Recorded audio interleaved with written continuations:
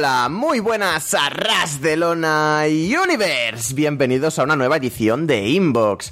Es miércoles 26 de, septiembre de 2018, no sé por qué iba a decir noviembre, y estamos en la edición número 115 de Inbox. Una semana más aquí para responder a las preguntas que nos habéis ido, ido mandando, tanto esta semana como la anterior, porque sucedieron cosas, se cometieron errores y sinceramente se me fue la olla de que había que grabar pro- programa, así que no hubo edición la semana pasada, lo sentimos por ello. Pero a cambio, volvemos con, más energía, nos hemos tomado un par de ibuprofenos, vamos a tope esta semana. y para ello estamos como siempre en arrasdelona.com y soloresling.com en las páginas web amigas. Y poquita cosa más que comentar.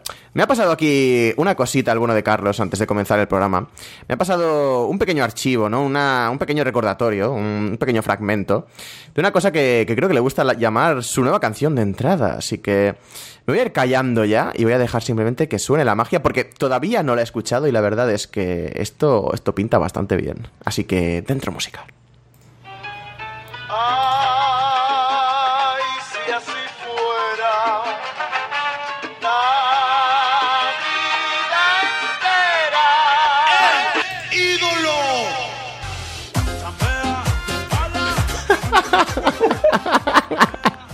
¿Cómo no podía ser de otra forma?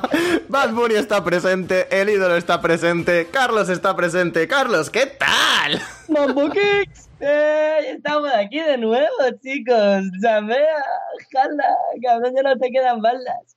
Bien, muy bien. Ay, cómo me gusta mi nuevo theme song, de verdad. Eh, eh, ¿Te gusta? ¿A ti qué te parece, Capu? Es inesperado, o sea, me podía imaginar que sería algo de Bad Bunny. no sé cómo lo había imaginado más fuerte, pero desde luego me gusta, me gusta. Va a ser difícil superar y que me, me guste más que la, que la versión acá, la versión acá de Queen de antes, pero creo, creo que has afinado bastante bien, creo que has tocado con el pie derecho.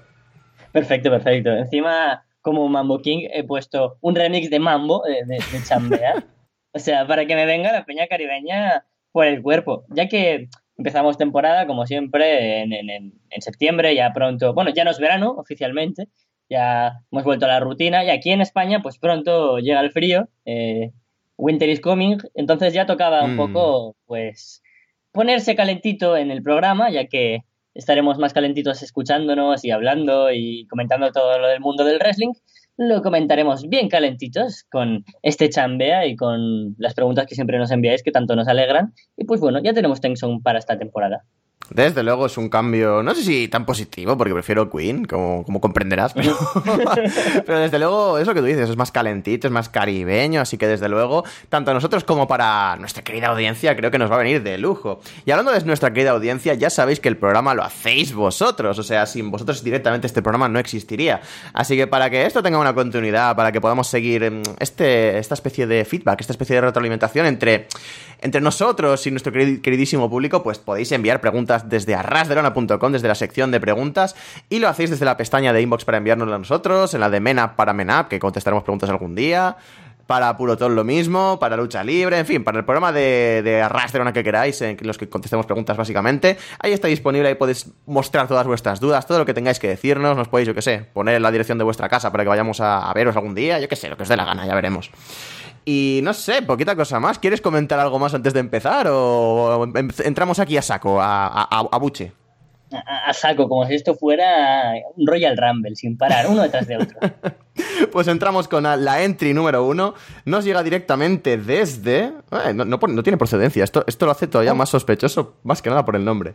Nos la envía el amante anónimo. Carlos, soy tu amante anónimo. Oh, Dios mío, oh, Dios mío.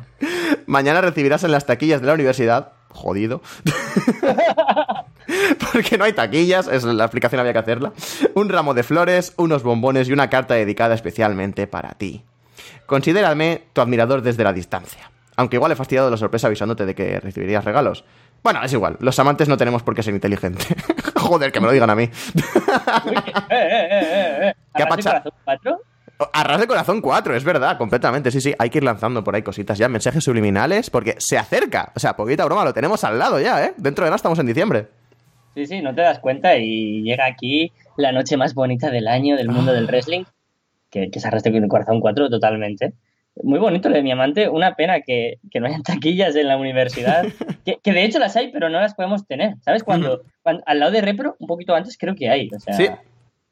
Sí, Sí, y en, y en la facultad en la que estaba yo antes también, pero, pero sí, o sea, yo no he visto nunca a nadie coger en esa taquilla nada. O sea, yo creo que están ahí de forma decorativa, en plan de, "Ah, esto queda más americano, queda guapo, ¿sabes? El arquitecto lo firmó y directamente lo hicieron por algún motivo y ya está. Pero sí, yo no he visto nunca a nadie usar una taquilla, no son funcionales.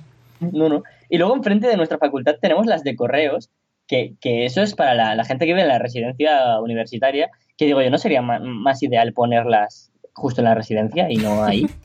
¿O, o para qué están cual. ahí esas taquillas de correos? De verdad, no lo entiendo. Pero siempre hay alguien abriendo, cerrando de correos. Y digo, "Mm, mm, mm, interesante, interesante. Eh, lo flipante es quién, quién, envía cartas a estas alturas de la vida. O sea, ¿Sabes? quién trae cosas a correos, como no sean paquetes o cosas por el estilo. Oh, es bastante bueno, sí. inútil. Claro, yo pronto voy a recibir mi pulserita de suplex, que es Oh. después de que se me rompiera la mía. Y, y tenía que decirlo, Easy, muchas gracias. El mejor wrestler de España, del mundo y del universo. Gracias por enviarme una pulsera nueva, te quiero. Le, le- le- le veré en febrero, no sé si lo, veremos y si quieres venirte también, ya lo hablaremos todo esto. Así que desde aquí un abrazo para Isi. Y volvemos a la pregunta, que se nos ha ido bastante la olla. en fin, esto va de preguntar. Eh, Yo lo dejo ahí, Arras de Corazón 4, viaje a Barcelona, en fin. En fin, esto va de preguntar, así que allá voy. Teniendo en cuenta que Paige ha avivado los rumores de la creación de los títulos por parejas femeninos, ¿quién, ¿quiénes creéis que deberían ser las primeras campeonas? ¿Sería verdaderamente necesario que... Bueno, esta, es otra pregunta, así que, en fin, quedémonos con eso. ¿Quiénes creéis que deberían ser las primeras campeonas? Es un, buen tema, una buena pregunta, porque mucha gente se, se está preguntando, valga la redundancia, si realmente hay capacidad como para poder hacer una división por parejas dentro del el roster femenino. Y ya estamos viendo, por ejemplo, en SmackDown que Asuka y Naomi están haciendo más equipo. eh, en, en Raw, al fin y al cabo, tenemos también varios equipos, stables, alianzas que, que van tomando forma. Y entre esto, las luchadoras que van a venir de, del Million Classic, por ejemplo, Mia Jim ya ha firmado, las que suban de NXT, de NXT UK. Yo creo que sí que se está creando un vestuario femenino bastante amplio como para plantear hacer unos títulos por pareja. Creo que sería difícil hacer uno por marca, pero se podría hacer.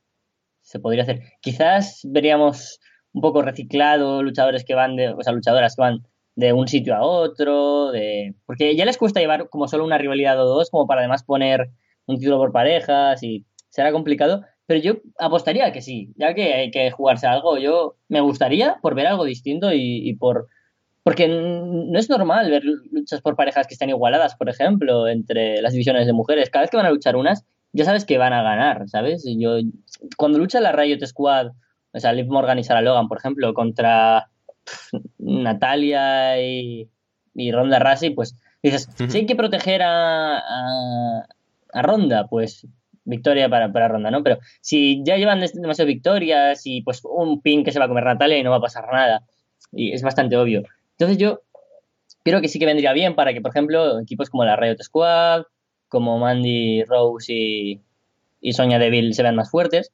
Y luchadoras que están un poco perdidas o que no tienen nada que hacer, como Iconics, como Naomi y Asuka ahora mismo, o incluso Mickey James y Alicia Fox como equipo, pues podrían plantearse, ¿no? Ya que de alguna manera son las que ahora acompañan a Alexa Bliss. Sí que tendrían ya un qué hacer. Y si encima subes a otras luchadoras que podrían formar equipo. Pero es, más difícil ver a equipos puros, ¿no? Costaría creerlos. Porque yo solo pienso en Iconics, Mandy Rose y Sonya Deville y la Riot Squad. Pero bueno, ah, y Bailey y Sasha Banks también estaría ahí. Yo creo que con estos cuatro equipos ya podemos empezar cómo va a funcionar algunas primeras rivalidades, unos primeros combates por títulos. Y luego sería ver qué pareja aparece por aquí, por allá, se deshace, se crea, sube, aparece, regresa. Yo apostaría a ello y me gustaría, por ejemplo, tener de, de primeras campeonas pues a la Riot Squad, por ejemplo. Son unas luchadoras que, que creo que han estado muy perdidas des- desde que han subido. Simplemente han sido pues para ser jovers y tener alguna victoria esporádica, pero que no lleve a nada, como mucho Ruby Riot. Y, y esta que es una de las luchadoras que, que creo está más infravaloradas de todo WWE. Por ejemplo, mucho se hablaba, ¿no? De Becky Lynch nunca ha entrado bien, pues Ruby Riot ni te imaginas, ¿no? No ha tenido absolutamente nada. Pues me, me gustaría, ¿no? Que, que fueran campeonas, una especie de New Day, ¿no? Pueden defender las tres, por ejemplo, sería curioso. Y en SmackDown, por supuesto, las Iconics, creo que, que deberían ser campeonas.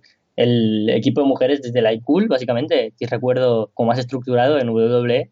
Y, y una pena que en el roster principal no hayan tenido tanta exposición porque son increíbles y seguramente esa división por parejas les haría tener el renombre que merecen.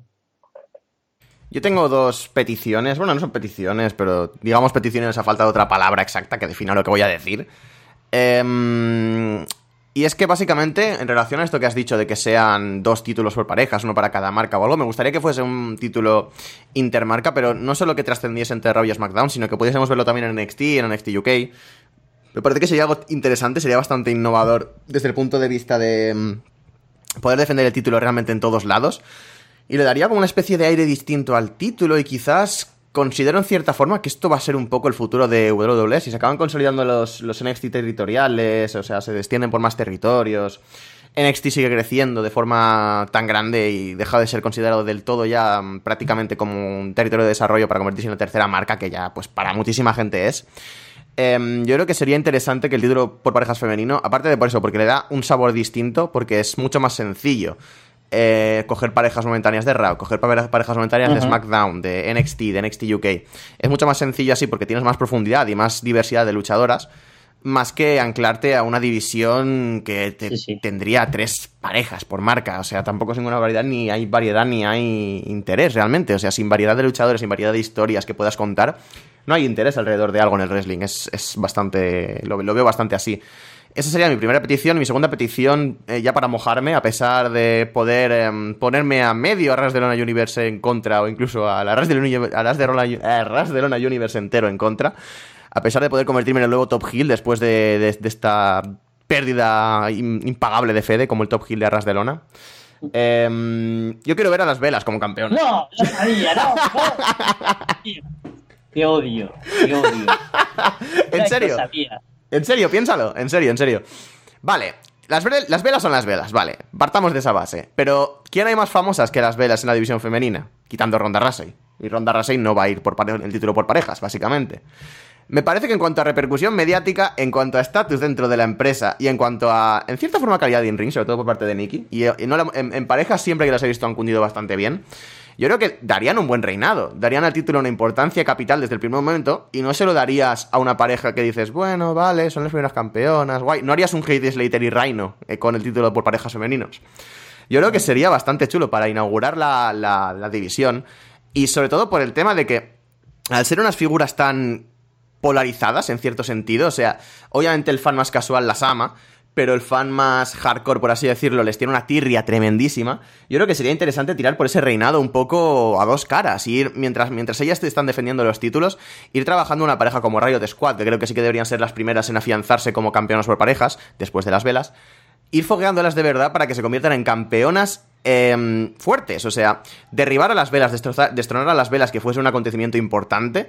Y que Riot Squad crezca muchísimo a raíz de eso. Yo creo que sería lo, lo bueno para un primer reinado y lo que tendría que tener. O sea, ya empiezas el estatus del título de una forma elevada dándoselo a las velas. Porque al fin y al cabo han llevado el peso de la división durante mucho tiempo y llevan 11 años en la empresa. Estamos hablando de unas veteranísimas ya y pues no sé, no veo más allá de ellas una decisión tremendamente acertada. O sea, me gustaría muchísimo que fuesen Riot Squad o Iconics, más que nada porque son parejas asen- asentadas ya, parejas con identidad, parejas que además se compenetran muy bien entre ellas.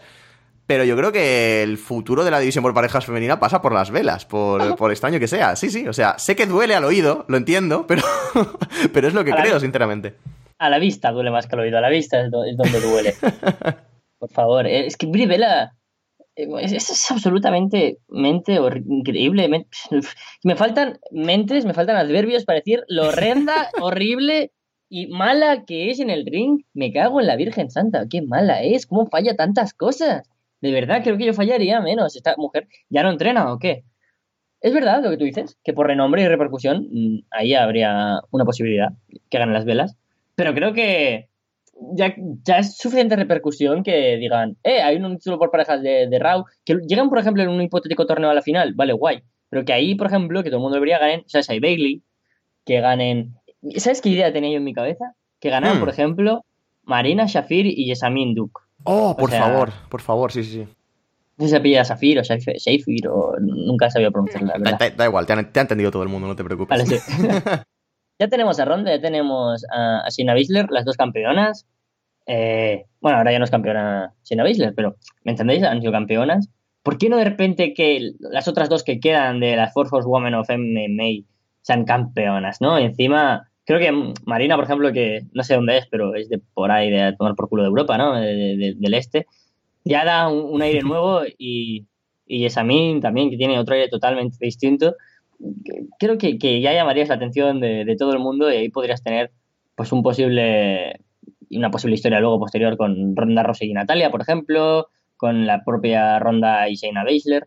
Y luego es que creo que como esto no se va a instaurar ya, se tendría que trabajar desde ahora mismo a luchadoras como eh, las Best Friends, o sea, la, la versión de Trent y Chuck Taylor, eh, es decir, Sasha Banks y, y Bailey, se tendría que trabajar ya. O, o a quien quieran trabajar, o a las Iconics o a la Riot Squad, me, me da igual. Alguien como que ya sea lo suficientemente fuerte, ¿no? Eh, Ver ese combate. Por ejemplo, no hizo falta para el primer Money Bank femenino que ganara una Nikki Bella, o para el primer Hell Cell. Se lo quitaron a Charlotte y a, y a Sasha Banks porque ya hicieron un gran combate para el primer main event entre dos mujeres de un pay-per-view, porque ya estaban bien construidas. No hace falta más que vuelvan Trish y Natalia como equipo, o Beth Phoenix, o me da igual. Yo, yo creo que deberían construirlo ya con lo que tenemos. Y el pasado está muy bien y, oye, que ganen un título en algún momento de transición o que les den importancia en alguna rivalidad está bien. Pero hay que trabajar en el futuro y creo que en ese punto habría que estar ya a tope con que, por ejemplo, Iconic sean las primeras campeonas, porque creo que también lo merecen. Porque son las que, al fin y al cabo, cuando tú piensas en parejas puras de, de, de luchadoras, eh, ahora mismo yo pienso en Iconics, no en las velas. Simplemente, pues, es que, por ejemplo, Brivela está en Raw y en SmackDown. ¿Por qué? Que se aclaren, solo por el puto nombre, tío. No, no sé, no me convence nada las velas. Yo es que, en cierta forma, me ha gustado mucho casar estos dos puntos que he dicho y me he imaginado muy fuerte a las velas defendiendo el título por parejas en un NXT UK con una grada completamente hostil al estilo de ECW con Rob Van Dam y John Cena y sinceramente me he resmeado un poquito, o sea, me ha gustado muchísimo esa idea. pero bueno, sí, ya veremos el futuro que trae, pero eh, desde luego, a mí al menos el título por parejas femenino me suscita mucho interés, así que Sí. hagan lo que hagan con la división, realmente tengo ganas de verlo. Correcto. La otra pregunta que nos mandaba aquí tu, tu amante, eh, Carlos, es, ¿sería verdaderamente necesario que se hiciesen además de los títulos además los títulos intercontinental y estadounidense femeninos? Un saludo desde la distancia, Capu, y un abrazo muy fuerte con refregón a Carlos. Te amo. Eh, gracias, supongo. Eh, 016. Em, em, yo creo que no. Que bueno, sería como la salida fácil, ¿no? La, la decisión poco creativa. Em, al fin y al cabo, para dar importancia a un luchador, el, título es como un acompañante, un meritorio. Sí que es verdad que hay que hacer un campeón, alguien que defienda la marca, para que, cargue con el peso creativo y de, de roster. Pero ya tenemos uno y en las mujeres tampoco hay como tanto de eso. Yo creo que no haría falta crear entre el vestuario limitado que tienen como marcas, ¿no? De, ya sabemos obviamente que hay un main event y una parte más, pues, pero es más diluida, ¿no? No sabemos claramente quién es Low o quién es Under o quién es Midcard, ¿no? Eso no está tan claro. Y obviamente dices, hostia, Alicia Fox no va a ser campeona o, o Liv Morgan de momento. Pero Nia Jax a lo mejor ahora está en rivalidad, ahora no. Ruby Riot lo mismo. En, en SmackDown pues Naomi, Asuka, pues también tenemos esas dudas, ¿no? Becky, Carmela, no, no tenemos muy claro qué hacer con ellas.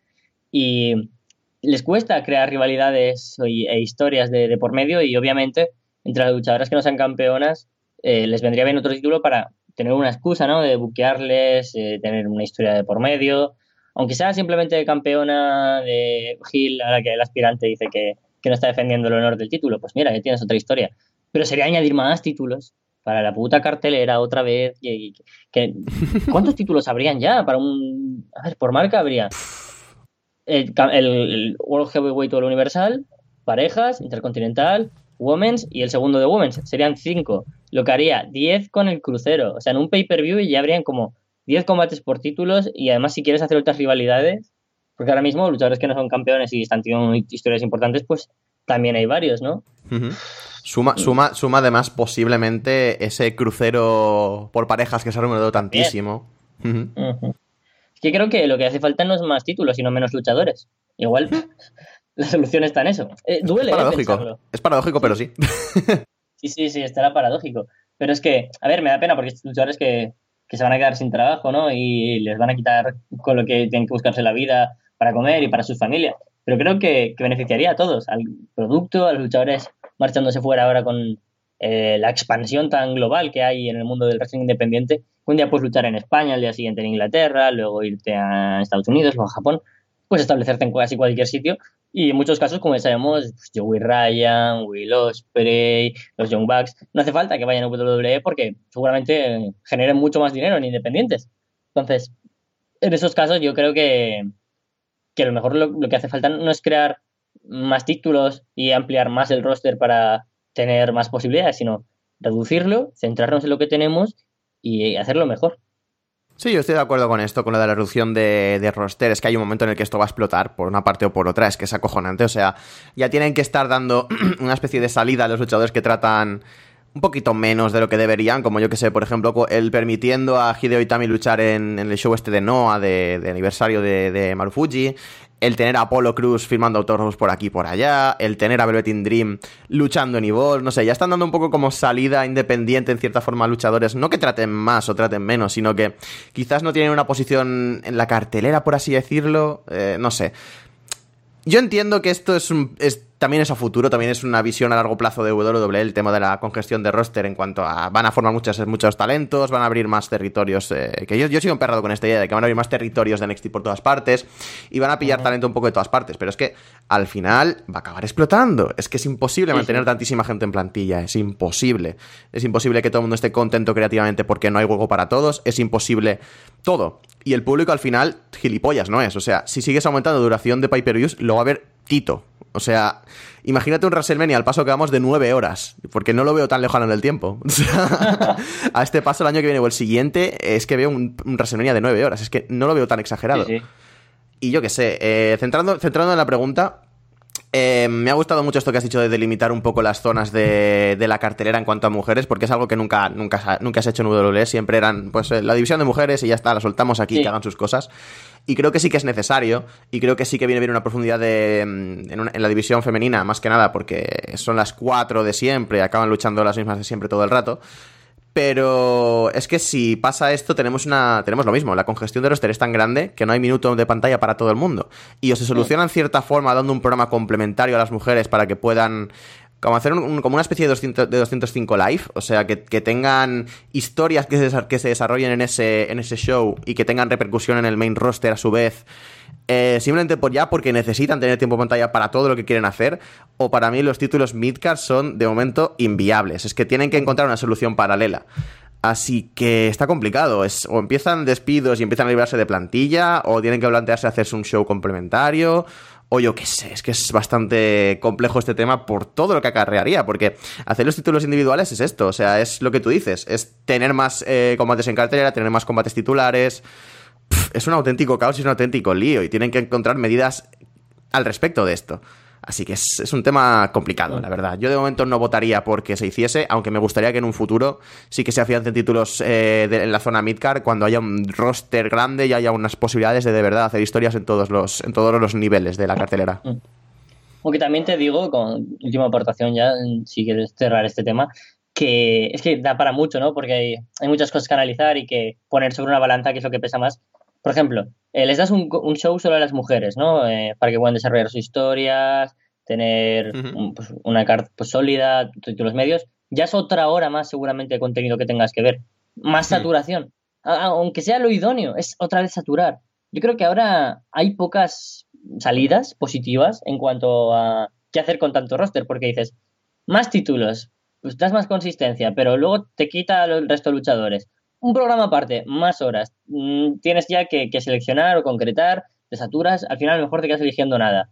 Eh, más divisiones y que vayan luchando por su parte, pero ya les tenemos amarrados. Eh, los vas a estancar. O sea, hemos visto muy poco de NXT UK, sí, pueden hacer otras cosas. Sabemos que el British Strong Style están por aquí y por allá, Tony Storm está en todos lados, eh, muchos luchadores, pero por ejemplo, comentaba ayer que los Grizzly Young Veterans, el equipo de James Gibson y. per- Perdón, Sam, Gib- Sam Gibson y. Ah, se me ha ido James. Ah, ah, se me ha ido el nombre. James Drake es, James ser? Drake, sí, gracias. Em, hace tiempo que no, no les veo en, en shows y esto es pues porque Gibson al tener el contrato con WWE pues ha cambiado seguramente su forma de elegir dónde ir, dónde no, tiene cosas más concretadas y mm, no sé, creo que esto no está beneficiando de momento a nada y veo Ujú. que, que ya hay muchas cosas que, que motivan y que ilusionan, que ilusiona ver Evo- Evolution, por ejemplo, una cartelera llena de mujeres, pero que o no se le está dando continuidad, o no se le va a dar, o no hay algo previo que, vaya bien. Así que, no sé, creo que hay que volver a tratar y pensar nuevas opciones, más allá del más títulos, más divisiones, más programas. Yo creo que al final, eh, ya sí, ta- también con esto cierro, eh, va a ser esto. O sea, el network es un germen, NXT es un germen, NXT UK 205 Live es un germen y al final va a pasar lo que. Pues esto. Básicamente, va a haber tantísimo roster que va a haber que hacer programas para todo y la network va a tener un contenido semanal tan amplio que realmente lo que son fans de WWE y. mm, y solo quieren ver WWE, eh, van a ver WWE demasiado. O sea, hasta llegar al punto de que van a tener contenido semanal de que igual tienes que ver, yo qué sé, igual 15 horas semanales, sin exagerar. Uf, Simplemente, no por nada, sino porque WWE parece que está inten- intentando en cierta forma abarcar todo el tipo de wrestling posible, todo el tipo de wrestling en cuanto a país y todo esto. Y creo que al final, a lo que quieren evolucionar con la network es a una especie de centro global neurálgico, monopolístico, extraño, en el que puedas abrirlo y ver wrestling de todas partes, de todos tipos y de todas las connotaciones, sin ningún tipo de problema. Todo con la marquita de WWE abajo, todo con la marquita de NXT abajo y todo con que pase todo el wrestling del mundo por WWE. Que creo que es a lo que va, a lo que tiran con todo esto. Pero bueno, ya veremos el futuro, a ver cómo, cómo lo hacen y cómo lo trata el bueno de Triple H. Que yo creo que puede ser o un señor que lo lleve toda la ruina o un señor que convierta a WWE todavía más en un monopolio. Así que ya veremos. Ya hablaremos de esto en un futuro porque me parece un tema interesante. ujú. Luego nos mandan otra pregunta hablando aquí de, de las buenas de las velas, ¿no? Desde Bucaramanga, desde... Bucaramanga, no sé dónde está exactamente, pero bueno, nos la manda Andresito, dice, buenas, buenas, hoy vengo para dejarles un par de preguntitas bien interesantes para vuestro programa. ¿Qué opinan de lo que ha estado pasando con Brie Bella? Ayer Hugo Sabinovich comentaba que Liv Morgan había, había terminado Raw bastante lastimado tras su lucha con Brie. ¿Es un peligro para las luchadoras poner a alguien que está totalmente fuera de forma, además de injusto? Bucaramanga creo que está en Colombia. Gra- gra- gracias, gracias. había quedado muy paleto, lo siento. Pero, pero no lo tengo claro, ¿eh? Porque alguna vez he escuchado, pero no sé si Colombia o Venezuela, que jugaría que, que- que Colombia, pero no lo tengo claro. Vale, eh, respecto a Liv Morgan, con tu eh, conmoción cerebral confirmado por WWE, y, y eso es jodido. Una conmoción corta carreras, corta muchas, muchas carreras. Eh, de hecho, ahora mm, el, juicio famoso, ¿no? De los wrestlers contra WWE, por muchos que hayan que tenido problemas eh, mentales o de salud, o etcétera, etcétera, en la carrera han tenido que cortarla debido a las conmociones cerebrales que no se controlaban en WWE, se perdió esa, eh, ese juicio, no me lo leí entero la, la noticia, pero algunas cosas porque habían prescrito y porque no se encontraban eh, pruebas evidentes, porque era desde hace mucho tiempo. Pero ahora vemos como una luchadora como es Liv Morgan, que tendrá 24, 23 años, no sé cuántos años tiene, pero es muy joven, ya una conmoción cerebral, uff, si luego llega a tener otra, pues por ejemplo, eh, eso pierde fe, ¿no? Los, los guionistas, los bookers dicen, no, esta luchadora corramos el riesgo de que vuelva a lesionarse, pero no ha sido culpa suya, en este caso ha sido de Brivela. Que tampoco quiero ser demagogo y decir fuera a esta mujer, porque obviamente no lo ha hecho aposta. Y lo, lo imprescindible del, del wrestling, más que en cualquier otro deporte de contacto, ya sea el rugby, el boxeo, eh, cualquier cosa, aquí tú no estás jugando por ti mismo, sino para proteger al resto. Cuando Undertaker Ujú. está haciendo un tombstone, eh, no, no está diciendo, "Ey, voy a hacer que este tombstone para quedar bien, sino protegiendo al máximo esto perfecto para que el cuello no se lastime y veces que, por ejemplo, un Styles Class ha salido mal, eh, yo creo que no ha sido culpa de AJ Styles, sino de- del otro, porque, bueno, alguna vez quizás, ¿no? O más que el Buster que hizo Samoa Joe a Tyson Kidd, al fin y al cabo también son ga- gajes del oficio, ¿no? Estas cosas pasan, pero nunca se hace aposta. Y, pero sí que estoy de acuerdo en parte con el que Brie Bella, y hemos visto varias cosas durante varias semanas en las que habría que decir, hey, mejor no. Esta, esta conmoción cerebral provocada a Liv Morgan, un mal, un mal, un mal salto, ¿no? Que gracias a Dios salvó Sarah Logan porque se podría haber desnucado ahí y puede haber sido una catástrofe para Brie Bella, pues, veía feísimo. Sarah Logan pues aún lo disimuló. Y, y- y más cosas, ¿no? Le vemos fuera de, de forma, aún se acaba de salir de un embarazo y aún no está cómoda con su nuevo cuerpo. Es un proceso muy difícil de asumir, ¿no? Que son nueve meses en los que tienes una nueva forma de andar, de moverte, ocupar espacios. ¿No te pasa a ti alguna vez que, que yo qué sé, llevas una mochila estas de camping y, y no te acuerdas o la guitarra y, y pegas con, con el traste ahí en la puerta? Eso a mí me pasa sí, sí. mucho. Porque al fin y al cabo no estamos, eh, no nos acordamos de cómo es nuestra nueva forma, por decirlo de alguna manera. Pues eso le pasa a Brivela. Así que yo ahora sí que tendría cierta precaución. Ya no que no saliera de televisión totalmente, sino que a lo mejor eh, menos spots o cosas mm, que no arriesgara tanto. Lo de las patadas, al fin y al cabo, sí que pienso que, que, que no sé cómo ha podido fallar en eso. Una luchadora lleva tantos, tantos años en WWE que aún siga fallando en cosas así, quizás es que se vino arriba o yo qué sé, no, no es sexy star. No, no tengo ni idea. Pero sí que habría que tener precaución y por lo menos sacarla un tiempo de televisión o de esos spots tan difíciles o que ahora mismo no puede controlar, porque sobre todo hay que proteger al resto de wrestlers. Me da igual que seas Brie Bella, John Cena o, o que seas el puto Undertaker. Si Undertaker ahora ya no tiene edad y ya no controla, pues obviamente Undertaker ya no va a tener esos spots, ya no hace tiempo que no se mueve tanto, ¿no? Porque sería un peligro para él y para el resto de wrestlers con el que se encuentra. Pues Brie Bella me parece algo similar. Sí, estoy completamente de acuerdo, no puedo añadir mucho más realmente. Eh, pero sí, es eso, o sea, Brivela eh, está, basa- está, no está en su mejor forma, eh, es lo que dices, salir de un embarazo, salir de un cambio físico tan bestia, es muy complicado. Quien haya tenido cambios físicos de este estilo eh, lo sabe, o sea que es, es, realmente complicado. Incluso para el tema de las patadas puedo justificarlo en cierta forma en el sentido de que... eh, al cambiar tanto físicamente, al, adaptarte- al estar adaptándote al tipo de cuerpo que tienes ahora mismo, quizás el tiempo de medir distancias para hacerlas de forma segura y no golpear del todo, quizás está un poco fallado en ese sentido. Así que creo que todo hubiera pasado porque hubieras pasado más tiempo entrenando, más tiempo volviendo en forma y haber regresado cuando se viese segura del todo y no dejarse llevar un poco por el tenemos que hacer esto ya, tenemos que hacer lo otro ya. Así que realmente vendría muy bien, como tú dices, apartarla un tiempecito de la circulación. Lo que sí que pido es que por favor no se le haga un linchamiento público, porque joder, al fin y al cabo son profesionales eh, y sea Brivela, sea Daniel Bryan, sea quien sea, sea yo qué sé, eh, un, un señor que está en un ring en local, en tu empresa local, en el sitio más de mala muerte del universo, saben a lo, saben lo que se exponen, saben que son profesionales y que están entrenados para no hacer daño al contrario y para fingir esto, para hacer un entretenimiento de todo esto. Y obviamente son accidentes lo que ocurre en el ring. Ni, ni teníamos que culpar a Paige en su momento cuando pasó lo que pasó, a Sasha Banks, perdón, cuando pasó lo que pasó con Paige, ni teníamos que culpar a Samoa Joe por lo que pasó con Tyson Kidd, ni tenemos que culpar a Brie con lo que ha pasado con, con Liv Morgan. ¿Es una putada? Sí, pero los accidentes ocurren y es lo que hay, es la forma...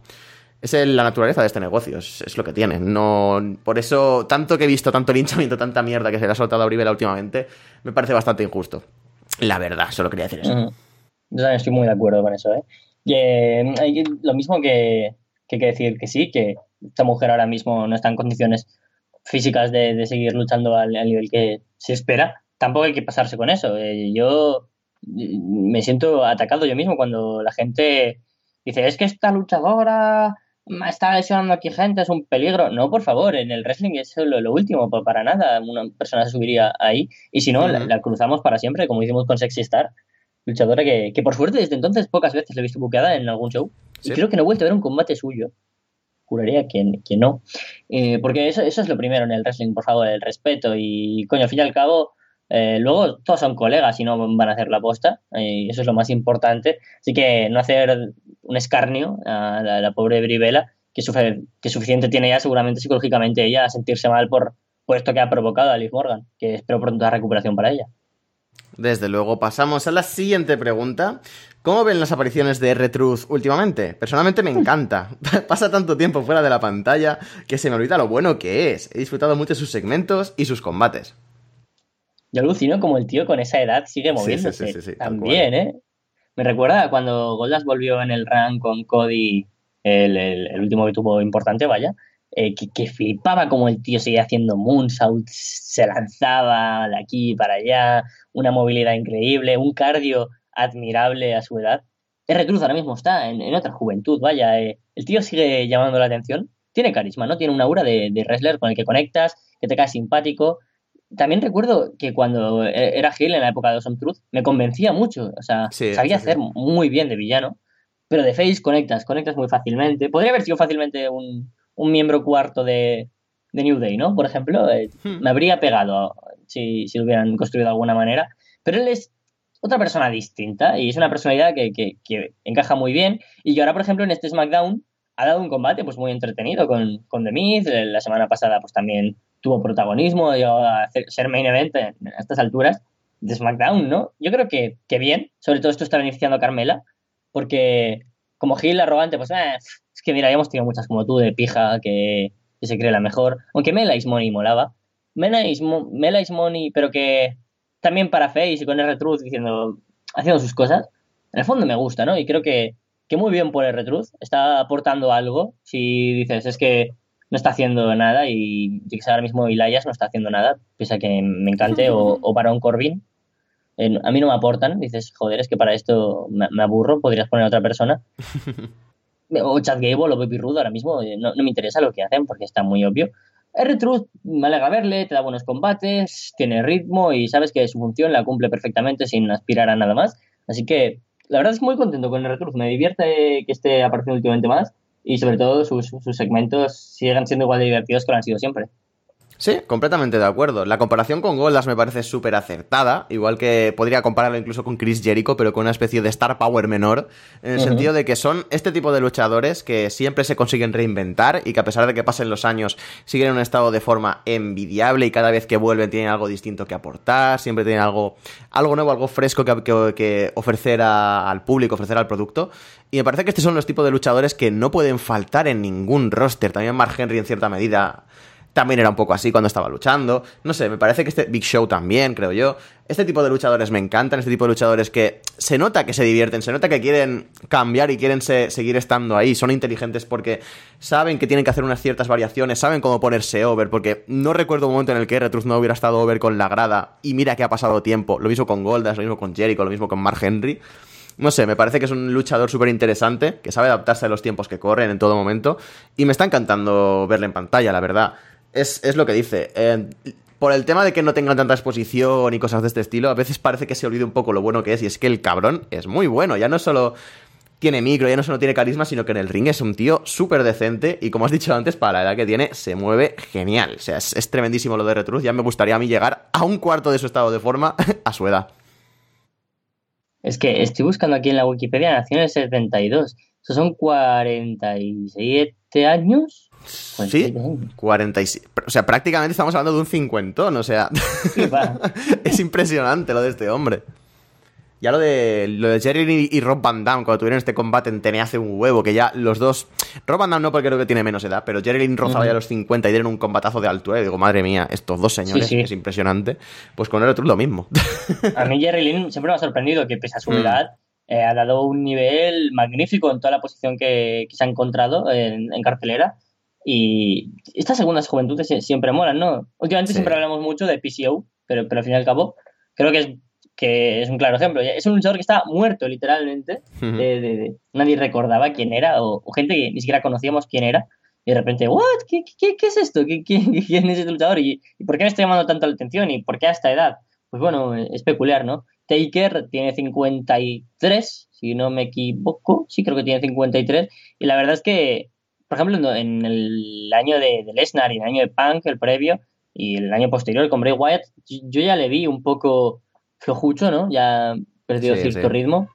Pero luego también hemos visto otros combates que, que mejoraron mucho. El de Shane McMahon fue media hora de combate, un Hell in a Cell, y a mí me, me, me fascinó. Dije, wow, o sea, no me esperaba un combate entretenido como, como este en el WrestleMania 32. O, o bueno, pero luego el de Roman Reigns también le vimos acabado, fulminado del todo. Y R-Truth se ve distinto, no sé. Depende mucho de la persona, de lo difícil que haya sido tu carrera, el tiempo que has tenido de descansar, las lesiones que hayas pasado. R-Truth acaba de volver una lesión también, que cosa curiosa. No sé. eh, muy satisfecho con, con los luchadores que aguantan hasta este tiempo, sabiendo perfectamente que, que ya no están como para ser un Seth Rollins o un Roman Reigns, pero igualmente aportan muchísimo. Desde luego, desde luego. Y admiración profunda y eterna para este tipo de gente. Y vamos a pasar a la siguiente pregunta. O sea, nos la envía un compañero, nos la envía un colaborador de Arras de Lona. ¿Tienes alguna apuesta? ¿Te, te aventuras a decir quién lo ha hecho? No lo sé, pero quiero que sea horrible. Pues mira, en este te equivocas de momento. Ta- También ha dejado pregunta, pero Vaya. tengo esta aquí delante. Y, y- y tengo que ponerla, nos la envía The Great Gin. Oh my god. Desde ese señor que grita Sekimoto en tercera fila. No, no, espera. Sekimoto en tercera fila. en el Korauken Hall en Tokio. Buenas, Carlos y Capu. El segundo mejor dúo de Arras de Lona. Supongo que se referirá a Rich Laconi y a Alex. Es que es otro, no- otro, otro no se me ocurre. Ahí lo ¿Cómo? y solo por Rick. Exactamente. Es, el, es el putísimo drago. Es impresionante de este hombre. ¿Cómo no? Vengo aquí a dejaros unas preguntitas que me resultan interesantes. Shigehiro Irie y Shingo Takagi están libres de contrato. ¿A quién enviarían a NXT y a quién a Impact? Uf, uf, uf, uf, uf, uf, uf, uf. Ah, es que Irie me, cuadra más, ¿no? Por, por el tema de, de Callihan, etcétera. Pero Shingo Takagi es un heel tan bueno, que me gusta tanto. Y tiene 35 tacos, por lo menos, más o menos. O sea, es que lo busqué el otro día y creo que tiene 35 tacos. Hombre, Asuka tiene 37 y cuando llegó a NXT... Estoy echando cálculos, ¿vale? Un poco en mi cabeza. Yo creo que me quedo con Shingo Takagi para, para Impact Wrestling. Irie me, me, me pega a lo mejor... Es que me pega también... Me pega a los dos más a Impact que a NXT, sinceramente. Pero, pero Shingo es un luchador que, que siempre me ha gustado mucho por la capacidad que tiene de, ser un heel tan increíble. Y en su trabajo en, Dragon Gate ha sido brutal. Y por lo que he leído en el Bola también ha sido increíble. Y que ahora sea un talento independiente le, le pega muy bien. Y combates que ha tenido este año, por ejemplo, con, con Yamato, y dices, joder, este hombre es un- una maravilla. Yo creo que, que le pega muy bien llegar a Impact Wrestling. También me gustaría que, que encima llegara. Encima son luchadores que, que creo que no se tratarían también su personaje en, en NXT, porque eh, ya hemos visto ¿no? lo que pasa al fin y al cabo culturalmente con los talentos que vienen de fuera, ya sean latinos que se estancan, ya sean asiáticos que se estancan o no tienen como una- un amplio fondo para ellos. Y creo que, que Shingo Takagi pegaría muy bien para Impact Wrestling, pese a que Irie también, también lo veo, tanto como face como como heel. Eh, los dos eh, me pegan mucho encima. Sí, no sé, creo que la, la corpulencia. Imagínate un tag team de Falaba Irie. Mm, ¡Oh! Falaba es que me encanta. Y, Sí, sí, sí, concuerdo. Qué bueno fue el Impact, que, que fue el, el eje de puto Falaba. Tal cual. Y, y creo que, que los dos me gustan mu- mucho como para ir a Impact Wrestling, pero quizás a Irie lo mandaría más a, a NXT. No sé por qué razón específica, pero quizás es porque tiro más para Shingo de Impact y no por Irie más a NXT. Yo la verdad es que a Shingo sí que lo tengo mucho más visto, eh, pero a Irie lo he visto muy, muy poco. Y de hecho, desde que volvió de su, entre comillas, excursión de, en Estados Unidos, no le he visto luchar. O sea, como no sigo tanto de DT, Oh, no lo he visto luchar desde hace un huevo de tiempo. Es impresionante. Igual estoy hablando de hace cuatro años, tres años, ni idea. O sea, que no te sé decir realmente. Sí que sé que es muy, que es muy amigo de Sammy Callihan, de ahí que el bueno de Callihan tuviese el título de DDT. Em, así que si tuviera que enviarlo a algún lado, le enviaría de primeras a Impact más que nada por este rollo. O sea, en NXT quizás por edad y por cuestión de talento, porque es verdad que lo tiene, em, quizás se encajaría bastante más por el tema de que WWE quiere desarrollar gente a futuro y quizás Takagi eh, tiene ya una edad y no casa del todo a pesar de que sus fichajes son pendulantísimos en cuanto a edad. Igual te fichan a un señor de 50 años, te fichan a Tim Storm de repente, ¿sabes? Que igual te fichan a, yo qué sé, a Marco Stant, que tiene como 22. Em, que tiene como siete. Exacto, tiene como 7. sí, yo creo que antes, antes tiraría a, a Shigehiro Irie en Impact Wrestling. Pero es que, a pesar de todo esto que he dicho, Takagi me pega mucho en NXT. O sea, lo veo como que, que es una fórmula en la que luciría fuerte. Y veo que es un tipo de público ante el que el público reaccionaría bien con él. O sea, de todas formas, me gusta mucho que sea un agente libre, como has dicho. Eh, creo que puede demostrar muchísimo más. Y a pesar de que está en Dragon Gate ya, ya ha sido un grande, Dragon Gate es un poco una burbuja, ¿no? una burbujita en la que o entras o como parece que no exista, entre muchísimas comillas. Es un poco como Chicara en ese sentido. Así que me gustará, me, me gustará mucho ver que, que, gente que igual no lo ha visto tanto, o igual no lo conoce tanto, va a poder empezar a verlo en PWG, en, yo qué sé, en, en All Japan, que también estará. Me parece que Noah también lo han anunciado, o quizás estará por ahí, no lo sé. O sea que va a ser muy interesante este run de, de Shingo Takagi como independiente, la verdad. Es que los dos tienen mucha carisma, muchísimo. eh, yo quizás diría que, que destaca más en Iriel el carisma que, que tiene, porque hay como mucha fortaleza y mucha intensidad cuando lucha eh, Shingo Takagi. Yo, yo, le veo como un tío que dices, Buah, es que para mí personalmente ha sido de, de mis favoritos de Dragon Ball, por, por encima de, de, de, de Cima, de... Es que también he, he, podido ver poco de Takagi, pese a que he visto bastante. He visto más de Irie porque últimamente, eh, desde hace un, dos años más o menos, DDT he intentado ver bastante. Y mm. por lo tanto, pues, lo, lo, lo tengo ahora mismo quizás más controlado. Pero coño, lleva siendo desde 2000 poco. Desde que tengo conciencia de wrestling japonés, eh, más allá de New Japan, Takagi era de los primeros nombres que, que, a mí se me vienen a la cabeza, ¿no? Y de hecho diría incluso que está un poco infravalorado, ¿no? Porque al final siempre acabamos tirando para New Japan y se nos olvidan los grandes luchadores que hay en All Japan, sí, que hay sí. en, en, en, DDT, que hay en Noah, y más aún, pues, pues, cosas como estas, ¿no? De Dragon Gate que, que se nos olvidan del todo. Eh, es un gran es un gran heel y, y creo que, que, encajaría muy bien en, en, en, Impact Wrestling y Irie que, también ha tenido, pues, por ejemplo, el combate contra el KOD, contra Sam Callihan estuvo bastante bien. Es un tío con, con carisma, que, que representa muy bien a, a un wrestler, lo, lo- lo que es un wrestler con, con todo, ¿no? Con un pack completo. Ujú. Irie estaría ahí, pero no es un powerhouse como está Kagi, ¿no? Dices, ah, le, fa- le falta quizás algo más. Entonces, yo a lo mejor tiraría por, por Irie. Es que, pese a que también lo ven en Impact Wrestling y también tendría un personaje pues potente, seguramente, pues el, el bueno de Shigeiro, que nunca me sale el nombre, eh, lo he tenido que buscar ahora, porque solo sale Irie. Eh, pues podría aparecer en, en NXT con cualquier tipo de personaje, es un poco más joven, no mucho más, pero, pero sigue siendo joven, puede ser tanto luchador con, con- como Powerhouse, como luchar como underdog, como heel, como face, es un tío que, que tiene carisma y es bastante completo. Y por supuesto, pues que Kagi también es súper completo. Lo veo más como una bestia Powerhouse Hill que podría encajar más, pese a no ser un tipo tan, tan grandote, en Impact Wrestling. Desde luego sería interesante cualquiera de los dos escenarios aquí planteados. Sería bastante guay ver a cualquiera de estos dos en cualquiera de las dos empresas. Así que nunca se sabe. El futuro todo lo dice. Ahora Iri ha salido de DDT. Shingo Takagi está como, como free agent. Así que, oye, cosas más extrañas y más jodidamente raras se han visto en el wrestling y jodidamente más raras se han visto en el puro resu. Así que, nunca digas nunca. Pasamos a la siguiente pregunta de Gin. DDT realizará su primer show en USA. ¿Qué combates esperan o quieren ver? Si te importa, la, la respondo yo primero porque no tengo tanta idea de DDT y va a ser una aportación súper breve porque tampoco quiero cagarla. Así que diría que es un paso muy positivo para DDT y mola mucho. Mola mucho que lo hayan dicho justo, justo después de despedir a. Bueno, de que Irie se fuese. Después de decir, creo, que no se iban a querer expandir por Estados Unidos. Y solo quiero ver eh, un combate entre Danshoku Dino y Colt Cabana. Eso es todo lo que pido. Lo demás es que no lo sé.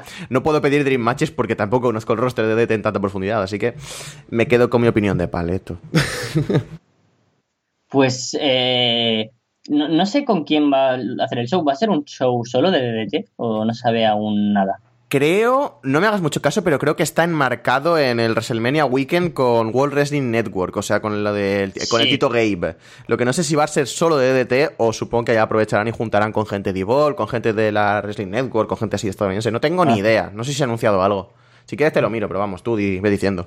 Vamos, que a lo mejor podemos tener, por ejemplo, a Damnation contra Rice, Por que a ejemplo. Harashima contra Walter, que mil cosas, ¿no?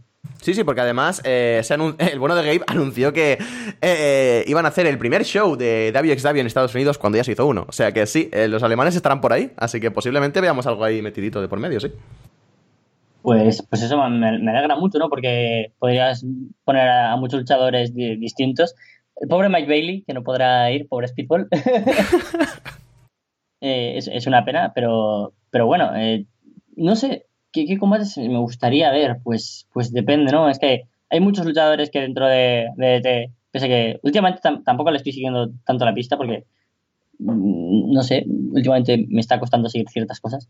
Eh, pues no sabría qué decirte ahora, ahora mismo, pero por ejemplo ver a Daisuke Sasaki, Tetsuya Endo como Damnation, o incluso todo el equipo de con, juntando a Matt Pauli y a Nobuhiro Shimatani, pues me, gustaría verlos contra algún equipo, ¿no? De, de Evolve, por ejemplo, contra Catchpoint, sería, o Mm. co- contra, contra alguien estaría muy guay. Claro, es que ahora ya no están Renegades, ya no están Watase y. Estoy pensando aquí equipos, porque también pues cualquier luchador individual, ya sea Harashima, ya sea el propio Daisuke Sasaki, ya sea eh, Danshoku Dino, me gustaría verlos o con cualquier luchador que sea. eh, me gustan muchos luchadores que, que están en, en DDT.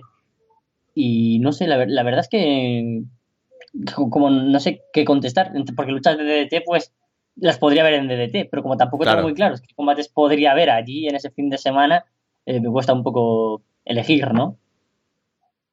Sí, es complicado. O sea, yo así pensando un poco, y como, te- como dices, eh, son combates que puedo ver en DDT. Mm, podríamos centrarnos en esto, en combates que, que has comentado tú y que serían un poco crossover entre las entre empresas de que estén luchando en el en WrestleMania Weekend y DDT. A mí lo único que se me ha ocurrido, ya que estaban ahí los buenos de los alemanes ahí a tope a fuerte, es que quiero ver un Harashima contra Ilja Dragunov. Yo creo que sería bastante bestia. Ujú. Yo creo que sería muy, muy bestia. Y porque quiero ver a Dragunov contra prácticamente todo el mundo. O sea que.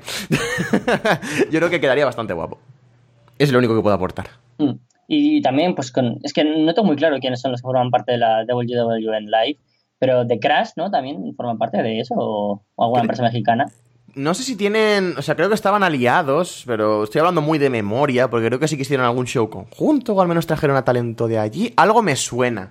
Pero no sé si están metidos dentro de la World Wrestling Network o no. no. no lo recuerdo. Sé que tenían un show de lucha libre, pero era lucha libre americana, o sea, qué puta mierda. Mm, vaya.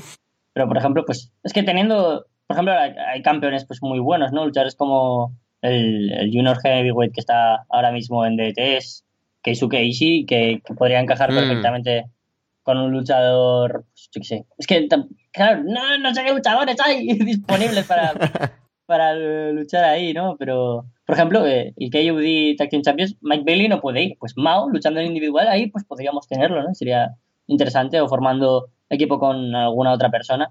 Pero claro, él, están luchadores tan buenos que, que podrían formar parte de, de los combates. El Damnation entero, eh, solo los que son actualmente campeones KOD eh, de tríos. Eh, no sé, hay, hay muchas cosas que, que me gustaría ver, pero no sabría concretar porque hay tantas opciones. Tal cual, hay muchísimas opciones, hay muchísimas cosas por ahí. Y bueno, pasamos ya a la siguiente pregunta, que extrañamente es una pregunta de WWE. Y nos la envía ¿Qué, es- Guin. qué, qué, qué? O sea, toca WWE, así que voy a anunciarla sin más, ¿vale? Brie Bella, Vaya, vaya. Brie Bella dio una patada de más en el último Raw. Mucha gente dice que es peligrosa, sin embargo, creo que forma parte del pro wrestling. De hecho, debería haber dado más fuerte. Me encanta Leaf, pero si se levantó, es que tan fuerte no le dio. Véase a Kira Maeda, a Ricky Choshu. Choshu, ch- ch- ch- ch- Choshu, Chochu. Eh, ¿no, ¿No le parece que la gente sobreexagera mucho en estos casos y en otros dentro de WWE? Se dice, ah, no pasa nada, un mero error, es normal. Un mero error, es normal. Véase Brian. Ha golpeado en el pasado a gente en la cara con George Kicks como Simus y Myth y nadie puso el grito en el cielo como con Brie. Esto, esto sí que es verdad que lo hemos comentado un poquito antes, pero tiene un girito, o sea... ¿Qué opinas de todo esto? Sí, yo creo que al final y al cabo es también quien lo hace, ¿no? Eh, Sí. lo que he dicho, hay parte de demagogia, de, de populismo, de llenarse la boca porque es una de las velas. Sí, esto pasa todos los días, ¿no? Samoa Joe poco se habló, ¿no? De este Muscle Buster que, que falló y que eh, acabó con la, con la carrera de Tyson Kidd. Ah, bueno, Samoa Joe, un luchador muy experimentado, los más experimentados que puedes pensar, ¿no? Y más limpios a la hora de, de actuar en el wrestling. Pero, pero claro, pues al ser eh, el puto Samoa Joe, pues ya no le acusas tanto de luchador eh, irresponsable, pero al ser Bribel así, no sé, yo es lo que digo, no es ni, ni tanto ni tampoco, ni acusarle de luchadora peligrosa, acaba carreras y porque al fin y al cabo es un error que, que no lo hizo aposta y estas cosas suceden, pero tampoco decir, bueno, no pasa nada porque suceden todos los días o no pasa nada porque haya sucedido, porque hay que tener ojo, sobre todo cuando suceden varias veces y Bribel ahora mismo eh, ya, hemos visto que es evidente, ¿no? Que, que tampoco está como para, luchar al nivel que debería aportar. Así que yo creo que es a mitad camino, ¿no? Pero que sea Brivela te da mucho que hablar. Si eso lo llega a hacer Bailey, pues seguramente el debate sería bastante menor. Sí, de hecho solo tenemos que ver, eh, por ejemplo, el caso de Sasha Banks, que la grada se ha girado muchísimo contra ella. Y cuando pasó el tema con Paige y todo esto, claro que es una, una lesión de más gravedad y todo esto, pero yo eh, es- eh, leí a gente y escuché a gente pedir despido y les faltaba pedir directamente que le pongan la inyección letal. O sea, Ala, ala. era, era exagerado la cantidad de odio que Sí. se vertía sobre, sobre Sasha Banks y con Brie Bella está pasando lo mismo. O sea, vale que, vale que ha golpeado a Liv Morgan de forma accidental y le ha provocado una conmoción. Y vale que es jodido, pero es lo que decía antes. Es una cosa que en el wrestling es lo que es. Te metes en un ring, sabes lo que pasa. Sobre todo si te metes con Meiko Satomura. Ve el, Gaia- el documental de Gaia Girls, me parece que es, para, para más información al respecto. En el que Meiko básicamente, prácticamente mata a una alumna. Eh, así que sí, mira, es lo que está interesante. Y este, este, este seguro que le molará a Gin, eh, a pesar de que he dicho el nombre mal. Pero bueno, es eso. O sea, al fin y al cabo, me parece que es lo que tú dices. Aquí lo que hay es favoritismo, si ya está. O sea, con se ha puesto el santo al cielo, con Sasha Banks se puso el santo al cielo porque son eh, luchadoras que la gente por algún motivo las odia. Y, co- y cuando pasa con, yo que sé, con un luchador que la gente es, es fan, como con Samoa Joe, o cuando pasa con una lesión accidental por algún motivo, que yo que sé, de repente imagínate que Sami Zayn lesiona a alguien, pues no sé, nadie diría absolutamente nada. Es eso, o sea, hay que ser un poquito objetivo con estos casos y, joder, macho, por mucho que odies a alguien o por mucho que no te guste un luchador, por Dios, o sea, sabes, conoces la naturaleza del negocio, sabes de dónde viene todo esto, sabes lo que puede pasar, no seas un gilipollas perdido, ¿vale? Eso es, eso Claro. es mi alegato. Ahí. Apl- Aplausos. Es que es eso, es que es justo eso. Mm, Ya sabes con lo que está de, de lo que estamos hablando, ¿no? Y, y con las consecuencias que, que pueden haber y que nadie lo hace aposta. Eh, yo qué sé. Sea cual sea la lesión, porque también es por el, el alcance de la, lesión, ¿no? O sea, eh, cuando lesionó, por ejemplo, Rusev a Zack Ryder del hombro, fue porque se pasó haciendo el, el accolade Accolade, sí, sí. Y, y le sacó el hombro y dices, hostias, eso no es aposta, claro. Quieres venderlo bien y, y, y, hostia, se, te- se te va el hombro o un mal golpe, una mala caída, pues, pues claro, una patada que se te va, pues, pues obviamente también es, es lo mismo, así que no sé, yo creo que hay que tenerlo en cuenta, pero tampoco hay que hacer un drama de ello.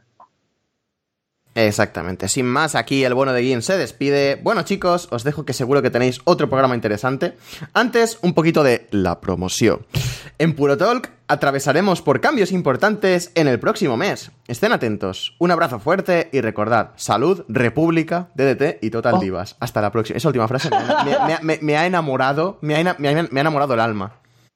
No sé hasta qué punto me he identificado, porque luego ha hecho el girito de Total Divas y... ah, Es el girito siniestro, ese, es, el, es la diferencia de la izquierda, ¿no? O sea, Sí, exacto, es, es la izquierda. Dices, joder, esto me gusta, esto me gusta, esto me gusta. Ah, la tomar por culo, qué bien pintabas. Un saludo a la izquierda de España. y hablando de izquierda, no sé, no sé, no sé cómo. Bueno, da igual, tío. No voy a hacer un segue con esto porque no iba a quedar bien. Pasamos a una preguntita que nos mandan desde Montevideo. Nos la envía Fede from Hell. horrible. Horrible. Hola, Capu y Carlos. El otro día estaba por mirar el torneo de Brighton de Riptide Wrestling, empresa británica que recomiendo, cuando se me ocurrió spoilearme los resultados. Allí vi que ganaba el torneo el nefasto Chuck Mambo. Ante tal noticia... Bueno, no, el nefasto no, el nefasto, el nefasto Chuck Mambo. Ante tal noticia, abandoné el torneo y me puse a ver a Nick Gage lastimando gente en GCW. Mm.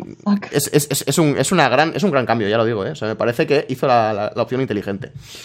La pregunta es: ¿está mal no ver un torneo porque gana alguien horrible? ¿Horrible? Piensa. no sé.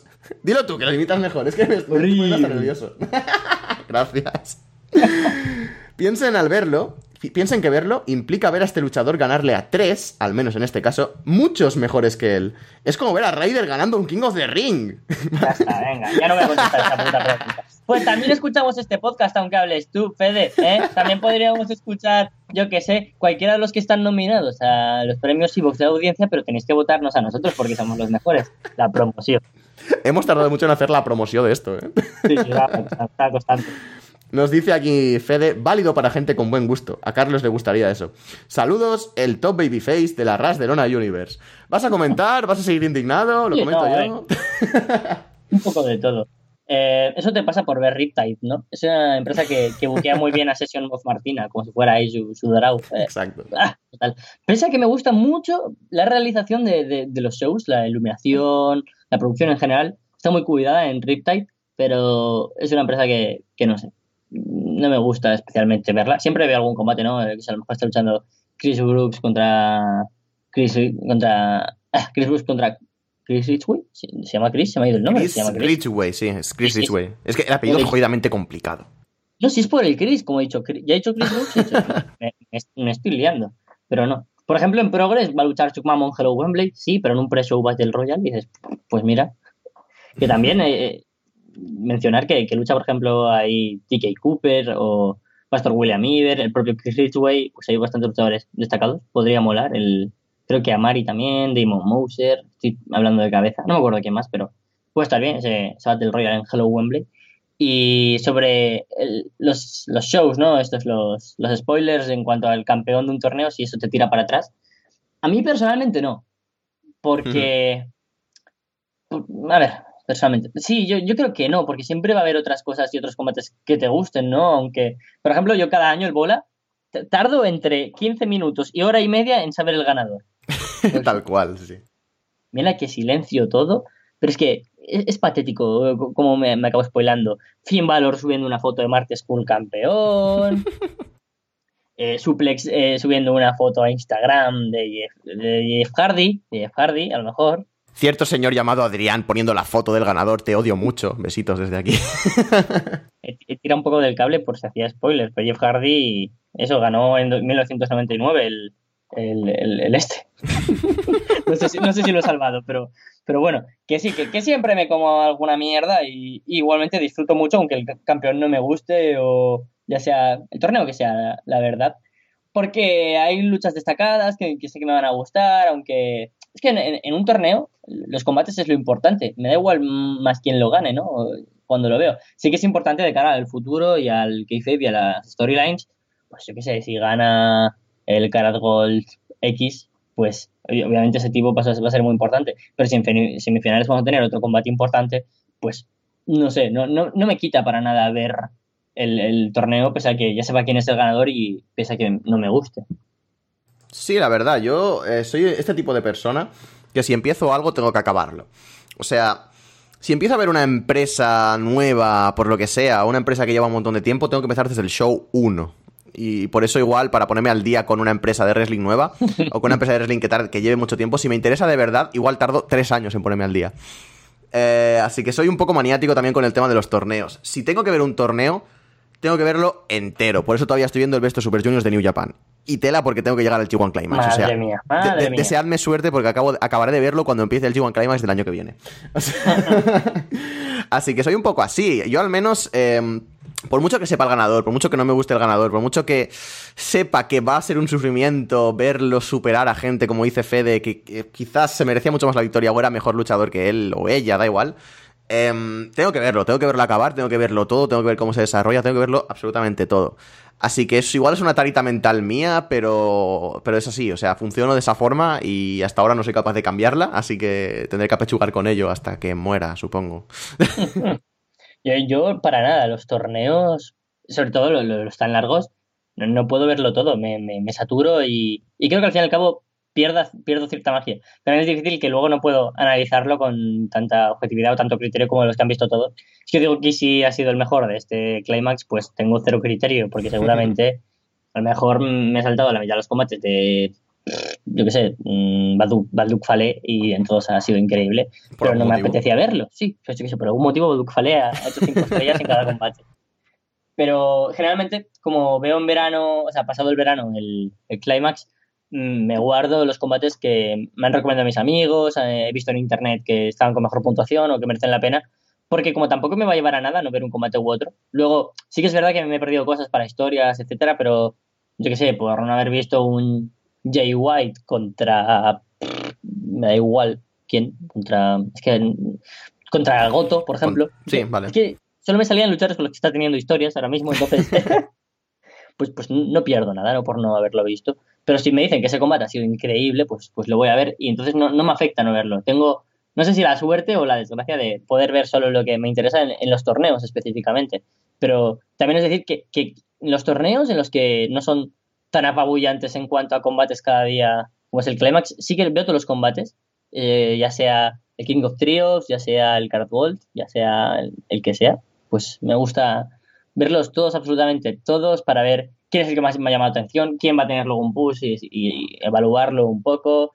Yo qué sé, por ejemplo, el torneo de NXT UK, eh, pese a que sabía que, que, iba a ganar Tyler Bate o Pete Dunne, pues, pues, no me quito la, las ganas de verlo porque había muchos jugadores que no conocía ¿no? al principio y eso pues siempre está bien. Y gracias a eso descubriste a Sam Gradwell. O sea, es perfecto. Uh -huh. no, pero sí es verdad. Además hay torneos en concreto que como son marquee events, son eventos que tienes que ver sí o sí durante el año. Rollo el Bola, rollo el King of Trios. Yo creo que ya son... Eh, o el Karat Gold. Ya son eh, torneos y eventos que entras a ver con una ilusión extra. Y yo, eh, y yo al menos es que... Ya te digo, tengo que ver todos los torneos, sea de donde sea. Pero lo ves con otra motivación, lo ves con otros ojos. Es como, vale, sé que el King of Trios este año lo gana el Team AAA, ¿vale? Por ejemplo. Eh, pero voy a ver todos los combates, me lo voy a gozar todos los combates, me lo voy a pasar genial a pesar de que sepa ya quién gana en cada uno. Porque es el King of Trios. Pasa lo mismo con el Bola, pasa lo mismo con el Karat Gold, al menos en mi caso, no sé. Me parece que sí que hay torneos en concreto que, a pesar de que mi TOC funciona y mi TOC se activa, eh, mi TOC no me molesta, ¿sabes? Ay, Dios mío, es que es, que es un toque muy peculiar. Porque hay torneos muy de mierda. Sí, sí, sí, sí, sí. Y, y, saturación. Y es normal que aún no hayas visto nada del clímax si tienes que ver aún todo el puto Best of Super Junior. Es que me gustaría que fuera un toque más exagerado. ¡Para! Exagerado, que, que tengas que ver todos los días todos los combates de la cartelera. Los Young Lion, Arropongi 3K contra. Yo qué sé, me da igual, contra otros tres. Ojalá, Pues, pues, pues al principio con Nivea Pan sí que me pasaba porque me quería enterar de todo el roster, me quería enterar de todo y veía, veía todo, pero todo el evento, las Uy, cuatro horazas, lo que sea. Eso nunca. Eso nunca con Japan. Ahora, ahora ya me he relajado un poco y digo, bueno, venga, va. O sea, por, por no ver a Jay White y los tres John Lions random del momento contra los otros tres John Lions random contra Satoshi Kojima, eh, tampoco voy a morir, ¿sabes? O sea, puedo sobrevivir sin ver esto, a pesar de que me mole mucho ver a Satoshi, pero bueno. Pasamos a la siguiente pregunta. Nos la, nos la envía Zacarías Leche del Monte, amigo de Jorge Nitales. Oh, Perdón. Eh, nos lo envía desde Lago Zaras. no, no puedo. no puedo. Ay, es el tipo de humor que, que me puede. Hola Carlitos y, y Capucito. ¿Cómo están? Les dejo mis preguntas. De acuerdo a lo que WWE está pasando con los eventos en países como Arabia Saudita, si soy un magnate multimillonario, ¿puedo traerlo a México? Y si quisiera, ¿podría meter a la parca o a Pimpinela Escarlata en mi evento? ¿La WWE haría lo posible para cumplir mis caprichos solo por el dinero? ¿O creen que tienen, tengan un límite o condiciones para hacer estos eventos? No, yo creo que no tienen límite, ni moral, ni ético, ni económico, ni, ni nada. O sea, tú le dices a WWE, mira, soy un tío muy rico de, me da igual de dónde, o sea, de México, de Arabia Saudí, de donde sea, soy un magnate. Soy, soy, Sí. soy, soy Amancio Ortega. Llama- sí, y, y quiero que en todos los combates gane Kurt Hawkins, ¿vale? Que sea el, el evento de redención de Kurt Hawkins. Y que gane Undertaker, a Hulk Hogan, a Asuka quitándole la racha, a Goldberg en su regreso. Te voy a pagar todo el dinero que, que- que existe en el mundo. Y Vince McMahon dirá, "Ah, ay, es que no sé, la narrativa, no sé qué. Venga, va, te pago el doble de todo el dinero que existe en el mundo. Venga, toma, toma, toma, toma. Kurt Hawkins va a ganar el título de Women si quieres, chico. El de Women si quieres. El título por parejas. Kurt Hawkins solo. Yo soy el campeón por parejas. Eh, sí, el, eh, yo sé que, que pasaría. Pa- Y estoy seguro, 100%. O sea, pensemos en que el... ah, iba a decir el nombre técnico, ¿no? El, ¿Cómo se llamaba el primer show en Arabia Saudí? Eh, Mor- Mor- Ay, es verdad. ¿No? Joder, se me ha traicionado el subconsciente. claro, pues, yo iba a decirlo y me he parado. He dicho, "Hostia, no". Menos mal, no lo he dicho completo, pero bueno, se deduce, en fin. Eh, Gre- Greatest Royal Rumble. Ya no me acordaba qué evento fue, ¿eh? Qué- qué fuerte. Tremendísimo, o sea, ver a Hornswoggle y a, y a, y a Titus O'Neill cayendo fue lo mejor que me ha pasado en la vida. El Cigala. El Cigala, tío, el Cigala, tremendo, tremendo. Ah, pues... Imagínate ese hombre, ¿no? Que pidió al Ultimate Warrior y a Yokozuna. Sí, sí, sí, sí. Eh, ha, ha vuelto. O sea, en el May Young, eh, cuando luchó Kavita Devi, se le vio ahí. Yo digo, eh, mira, mira lo que majo el Cigala. Está, está todavía más barbudo. Qué mono. Ay, Ojalá pronto campeón, ojalá, ojalá. Ojalá, ojalá. Aquí bancamos al Cigala. Sí, y como WWE no, no podía, obviamente, traer a Yokozuna y Ultimate Warrior, pues dijo, bueno, vamos a ver cómo, cómo metemos aquí a un chino gordo que parezca un poco Yokozuna. Falaba, ¿quieres venir? No, no, no. Porque Falaba se parece mucho a Yokozuna, joder, me recuerda un montón, pero mejor. Sí, re- realmente tiene ese rollo un poco Yokozuna comedia, que es, es- realmente es lo que mola de Falaba. O sea, no entiendo el hateo a Falaba. Hay un montón de gente que le odia. Es Dios, tío. ¿Quién hatea a Falaba? Es, es tremendo. O sea, siempre que hablo de Impact con quien, con quien sea, eh, lo, lo primero que se gana es que eh, Falaba es nefasto, tiene un talento de mierda. Que Jem, Falaba, no sé quién. no sé. Pero, tío, ¿estás viendo en serio los programas? Falaba es un puto dios. Es tremendo. O sea, Falaba es seguramente el mejor asiático que hay ahora mismo en América. O sea, Nakamura me aburre, Hideo Itami no está haciendo nada. Mm, ¿Quién hay por ahí? No sé, no se me ocurre ninguno. Sí, Falaba, para mí. En mi top, en mi top están Falaba y Jackie Chan. Y, ya está. Y el que te trae el rollito de primavera calentito y te Ah. regala las, las papas estas. Las papas de gamba. Ay, Dios mío. Me, me apetece chino ahora, tío. Estará abierto. No tío, luego, operación. Se me está yendo de las manos. Bueno, pasamos a la siguiente pregunta. Les había dejado esta pregunta la semana pasada, pero se los vuelvo a preguntar. Sé que cada año cuando la WWE saca un videojuego, hay discusiones, lo he escrito con C, me ha dolido mucho los ojos, desde aquí te lo digo, sobre el puntuaje. Barra rating que se da a los luchadores. Pero en este año yo he visto que se ha armado aún más polémica. ¿Creen que los que ponen estos puntuajes sean los desarrolladores del videojuego o sean los directivos? ¿Se les debería dar importancia a esto o es solo para que compremos el DLC que permite modificar estos puntuajes? Bueno, Carlitos y Capurecito, gracias por responder a las preguntas, que tengan un feliz resto de semana y recuerden, no sacudan tanto el chile que se riega la semilla. Adiós. Oh, vaya. Eh, Tenía preparada, Hay esta, muchas- te- te- tenía preparada esta pregunta, si, si quieres que te diga los puntuajes que hay actualmente. Eh, el otro día los miré, pero si quieres Hmm. decirlo. Pero es que hay muchos luchadores, ¿vas a decirlos todos? Tampoco, o sea, al menos de la lista que, que tengo yo aquí delante, hay como 20, no sé, tío, voy a decir los importantes al menos, ¿vale? Vale. Kurt Hawkins tiene 64, es el que menos tiene, me parece muy feo, por cierto. Mira, justo en esta lista no está, o sea que debe ser una lista desactualizada, pero bueno, ya me disculpáis, ¿vale? Tengo a Adam Cole, tiene un 81. Es nuevo en el juego, así que supera la puntuación. AJ Styles tiene 91. eh, supera en 1 su puntuaje de, 2, de 2K18. Angelo, bueno, Angelo Dawkins no lo voy a decir. Bah, que le den. Bobby Fish, 77. Braun Strowman, 89. Mejorando 1 respecto al año pasado. Finn Balor ha empeorado 3 desde el año pasado y tiene un 85 ahora mismo. Harper, un 84. Tiene un más 2. Kyle O'Reilly tiene un 79. Muy poquito, solo por la guitarra merece un 99. Matt Que no Hardy está la tiene. guitarra, por. Es verdad, no está la guitarra, es la mayor cagada que han hecho en el 2K19. Pero de basto, ¿eh? Matt Hardy ha bajado dos puntuaciones, tiene 84. Mustafa Ali tiene un 81, que es muy buena puntuación, es tremendo. Rowan tiene un 80, mejorando 4 respecto al año pasado. 84 de Rusev, que se mantiene. 80 tiene Velveteen Dream. Asuka tiene 84. Kairi Sane tiene 79. Eh, Liv Morgan tiene un 71. Ruby Rayo tiene un 80. Sarah Logan tiene un 70, Shaina Baszler tiene un 81 y Sonia Deville tiene un 74. Esos son los nombres que yo tengo aquí delante, seguro que habrá mucho más, pero bueno, Sí. algo muy ya- polémico, algo muy bestia. Ah, están todos completamente. Buah, pues Sí, entonces si me lo que digo los que me acuerdo de memoria, cosas importantes. El que más sale del juego es al 93, Roman Reigns. Solo. vaya, vaya que sorpresa, ¿no? ¡Ay, qué chorpecha! Solo empatado con The Rock. ¡Ay, Dios 93 mío! La, la supremacía Eh, samoana, ¿eh? Sí. 2018 ha llegado el año en el que John Cena está por debajo del 90, si no equivoco tiene 89. Undertaker, creo que el Undertaker versión 2018 también está al 89 o al 90, muy poquito también. Más cosas que recuerdo. Goldberg creo que está al 90 y el, o el 91 también, hay mucho. ¿Tienes alguna, a ver si me acuerdo de memoria que quieras preguntar? Ah, Ambrose creo que tiene solo 86 Hostia. o algo así. ¿Y Teniendo llegó- 88 Rollins, si no me falla la memoria. ¿Ambrose llegó a tener 90 o es un pedo mental mío? Ni puta idea, tío. Hace que no me compro el juego mucho tiempo. Mucho, Claro. mucho. Yo como, como de SmackDown vs 2009, pero en fin. Tri- Eh, Estoy muy out con esto, pero sí. sí, sí, ya veo. ¿Qué más? ¿Qué más? El Brian Danielson, por ejemplo, el Brian Danielson de FCW sale como Brian Danielson, muy curioso, sale Genial. el 70. Aún así, ese Brian Danielson sale a más que Kurt Hawkins.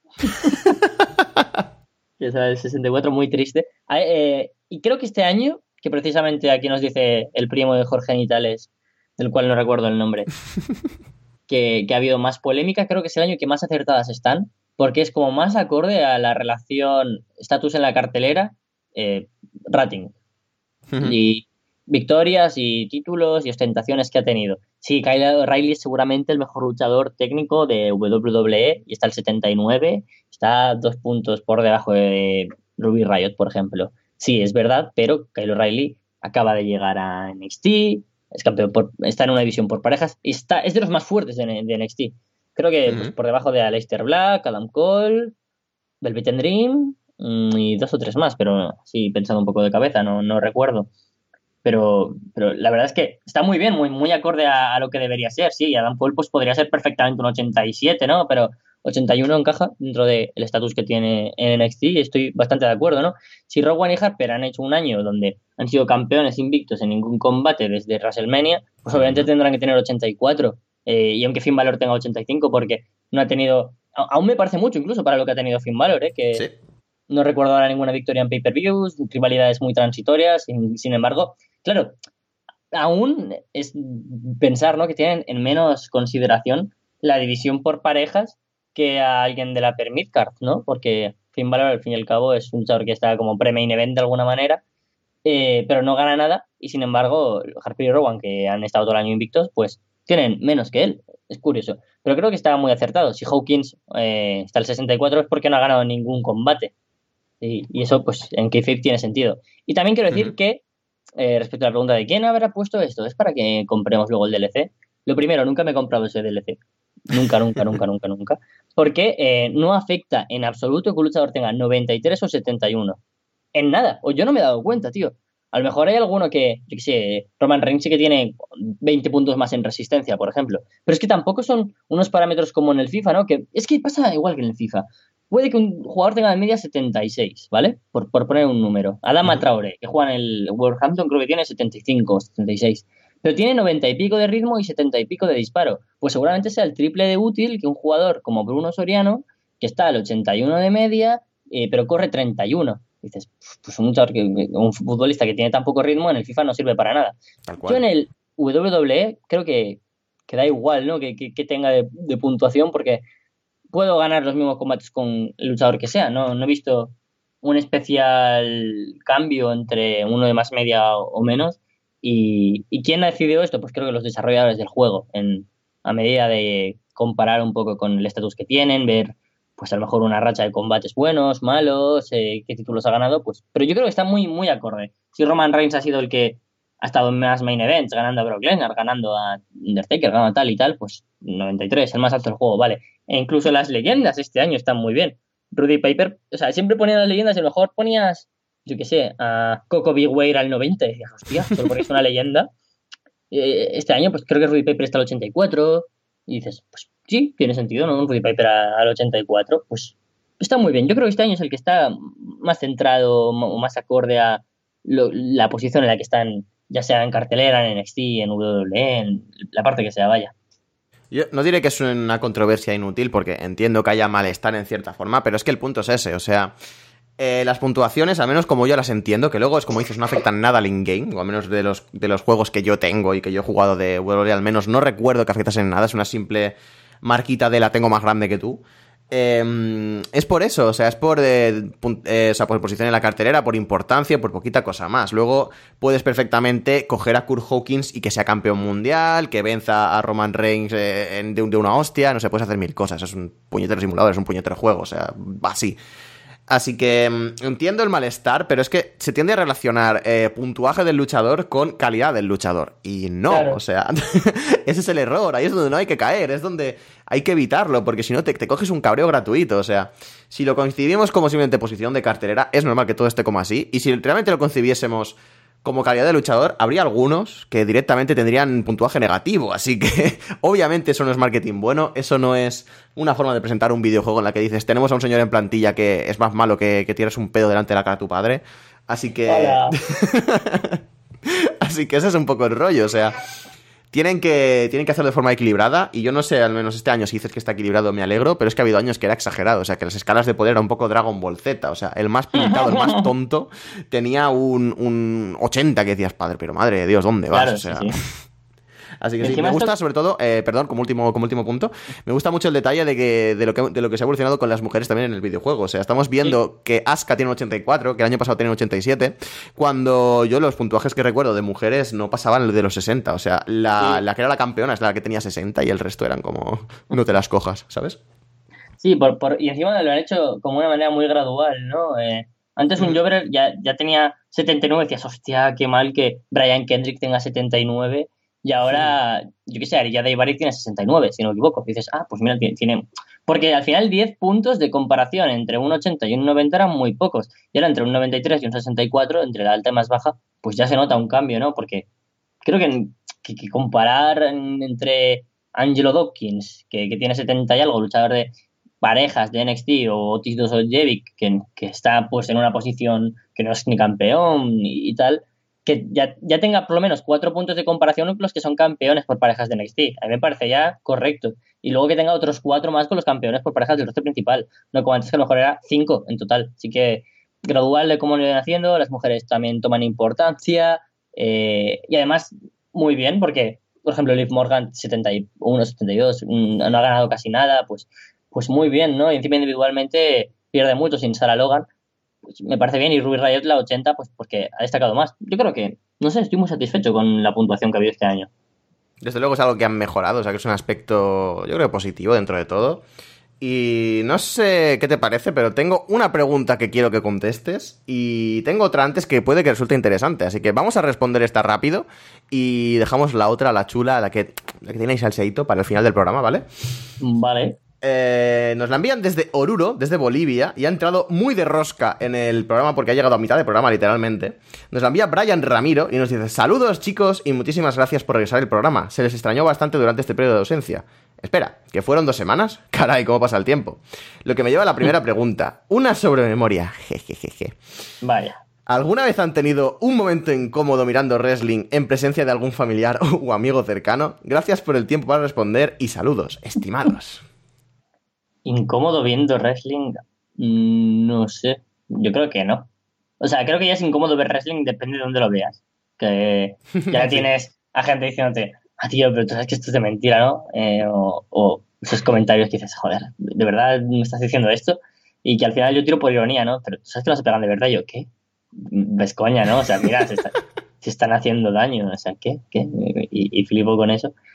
Eh, Pero yo creo que no, no en ningún momento incómodo, porque da igual, ¿no? Lo que pase es, es una ficción y como mucho he tenido momentos incómodos de decirle, eh, mira este combate que seguro que te va a molar. Y un amigo decir, bueno, venga, va. Mientras está ahí con el WhatsApp decirle, mira, mira, mira, mira qué guay, cu- cu- cu- cu- cu- cómo ahora coge Tony y, y aplica este rodillazo y luego llega Mustafa Ali y aplica un inverted 450, no sé. Y él, ah, sí, sí, ah, vaya. Es que falso, ¿no? Y yo, ah, ¿qué? ¿Qué? O, o incluso lo contrario, decir, oh, mira, mira, mira cómo aquí Harper aplica este pile driver y el "Mm, me aburro y decir bueno en verdad sí lo estoy vendiendo muy bien y es un combate de mierda. Eso también me ha pasado decir vean vean este combate que seguro que va a estar muy guapo y que acaba siendo me eso es lo más incómodo que he podido llegar a tener con alguien viendo wrestling. Desde luego comparto eso en concreto, pero muy fuerte, porque recuerdo estar muy a tope con ECW cuando era pequeñito, ponerles, eh, por algún motivo que yo estaba súper emocionado con ese combate, ¿vale? Que es una puta mierda porque lo he visto luego y tampoco es que sea una barbaridad, eh, pero estaba súper emocionado, me encantó el combate y se lo puse a, a dos amigos míos, que era un CM Punk contra John Morrison contra The Miz en. ECW, no sé si era The Miz el tercero ahora mismo, pero bueno, creo que sí, eh, por el título. Y yo lo recuerdo como un combatazo y lo recuerdo estar narrándolo con muchísima pasión y todo y los otros en plan, "Eh, no se pegan de verdad. O sea que te comprendo completamente. Y además me pasó también con un, creo que era Motor City Machine Guns contra Beer Money, creo, o contra los Young Bucks. No, sí, sí, era Motor City Machine Guns contra los Young Bucks, era un ladder match en TNA. Recuerdo ponérselo en plan, buah, os vais a cagar con este Spotfest, la puta polla, no sé qué, no sé cuántos. Y estaban en plan, ah, mira, ah, ah, ¿sabes qué falso? O sea, que te comprendo completamente. Y respecto a la, a la pregunta en sí, eh, sí me ha pasado el ver igual algún combate femenino, de esto que se escuchan. eh, Pues eh, todo el mundo lo hemos visto con los primeros combates de Carmen en el roster, por ejemplo. Se escuchan ahí un poco esas lamentaciones que pueden llegar a ser pseudoeróticas en algún momento, ¿no? Y de que pase mi padre por al lado y decir, ¿qué estás viendo, hijo mío? O sea, de ese rollo sí que me ha pasado. Y en cuanto a punto fuerte, soy fan de Chicara, así que desde luego sí que he tenido momentos Claro. incómodos viendo wrestling, ¿sabes? ya incómodos para mí, pues imagínate para cuando se lo enseño a alguien, sí. Sí, he tenido momentos incómodos. también decir que yo intento ver wrestling en mi privacidad ¿eh? a mí Sí, Es como una afición que, al menos yo ya la exteriorizo un poco más, pero que se lleva muy interiorizada también, porque sí. Es que sabes, es eso, sabes lo que te van a comentar, sabes lo que te van a decir, y ya directamente llega un momento en el que dices, mira, tío, paso. lo disfruto yo, lo disfruto con los que, con mis amigos que les gusta, y ya. Yo, yo siempre lo cuento cuando conozco a alguien y digo, sí, sí, a mí, en plan, cuando hablas de aficiones y eso, o, tío, sales, mira, es que hoy eh, es domingo por la mañana y aunque podríamos ir a jugar a fútbol, es- mira, hay un evento de, de DT, una empresa japonesa que están haciendo ahora y me apetece verlo. Y, y no tengo ninguna pudor, pero también es eso que yo digo, pues no voy a verlo con, con mis amigos habituales, ¿no? Porque sé que no lo van a disfrutar o tal, a menos que es algo muy puntual. Por ejemplo, hace no mucho, eh, cuando tuvimos que revisar WrestleMania 32, eh, un amigo se quedó a dormir en mi casa y yo tenía que, que grabar el nostálgico por la tarde. Y le dije, mira, yo voy a ver esto. Me dijo, venga, va, lo veo contigo. Flipó con el Brock Lesnar contra Roman Reigns, pero Oh. muchísimo. Flip- Oh. Flipó, dijo, Dios, pero, pero... Y cuando llegó Seth Rollins y, y Canjeo dijo, ¿pero qué? ¿Qué? ¿Y este tipo? Y yo, y yo haciéndome guay, como, ah, qué mola, ¿eh? Como, esto es como una peli. Y él, guau, tío, pues me gustó mucho. Y yo, y bien. Fe en la humanidad restaurada con un, un señor casual que le gustase el Brock Lesnar contra Roman Reigns. O sea, muy restaurada, ya te lo digo. ¿eh? Pero gracias a Rollins, joder. Da igual, no, no, no, el combate es lo importante. no empecemos, no hablamos de este melón, ¿vale? Em, no sé lo que iba a decir, así que me voy a callar y voy a pasar directamente a la última pregunta del programa de hoy. Nos la envía Anónimo Tres Palabras, que parece que por algún motivo han vuelto los anónimos aquí a Rasdelona. Old Lore, también por, por otra parte. Oh, ya ves, ¿eh? Y nos lo envía desde un lugar breve y simplemente deja, como bien dice su nombre, tres palabras. Carlos Operación Triunfo. Ay.